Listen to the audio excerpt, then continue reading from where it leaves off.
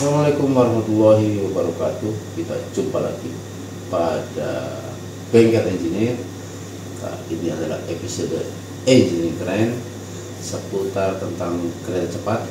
Karena negara kita adalah pertama kali di Asia Tenggara Yang mempunyai kereta cepat.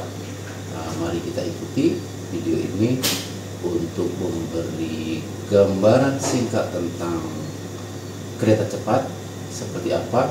Ikuti video berikut ini. Kereta cepat Jakarta Bandung mempunyai dua warna yaitu warna merah dan warna kuning. Warna merah adalah kereta penumpang yaitu Red Komodo. Ini adalah kereta penumpang. Sedangkan warna kuning itu adalah CIT Comprehensive Inspection Train. Ini adalah kereta untuk inspeksi karena kecepatan tinggi jadi sebelum kereta penumpang ini mulai perjalanan itu kereta akan didahului dulu dengan inspeksi apakah ada masalah karena ini kecepatan tinggi jadi parameter-parameternya diukur in time apakah kelistrikannya ada masalah aparelnya ada masalah atau ada halangan di dalam perjalanan untuk memastikan bahwa kereta penumpang aman dalam perjalanan.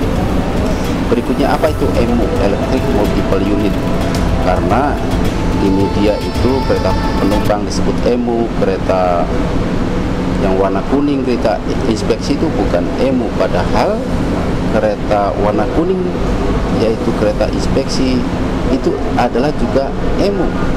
Karena EMU itu adalah kereta listrik yang lokomotifnya tidak terpisah. Itu adalah tipe emu. Jadi penggeraknya itu menyatu dengan gerbong tidak terpisah lokomotifnya. Nah seperti apa emu itu?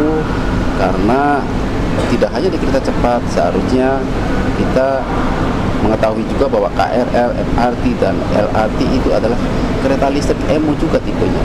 Tapi tegangannya adalah DC sedangkan kalau kereta cepat Jakarta Bandung itu tegangan suplainya itu adalah AC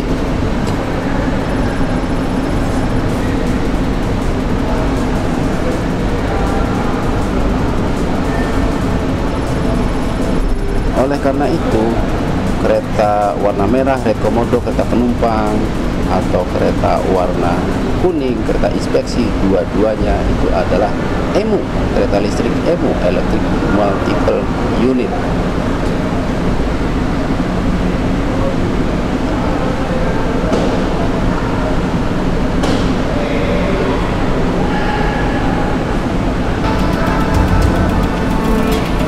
berikutnya adalah apa itu definisi kereta cepat? Karena kalau MRT, KRL atau LRT tidak bisa dibilang kereta cepat. Karena kereta cepat itu punya definisi tersendiri yang menurut International Union of Railways definisi dari kereta cepat itu adalah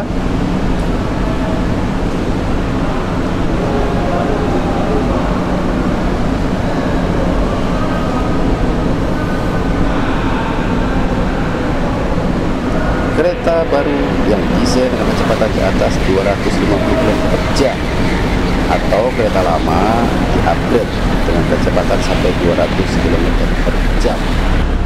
Itu yang disepakati oleh seluruh dunia itu definisi dari kereta cepat.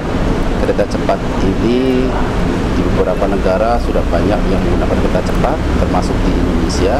Kalau di Indonesia itu adalah pertama kali di Asia Tenggara jadi negara-negara maju Eropa kemudian Korea itu juga menggunakan kereta cepat. Ini adalah Fuxing Fuxing ini adalah kereta cepat Cina teknologi Cina yang dibangun oleh Cina sendiri. Nah untuk Indonesia tipenya adalah CR400 AF itu adalah kereta cepat mengadopsi dari teknologi Fuxing Cina. Ini adalah Red Komodo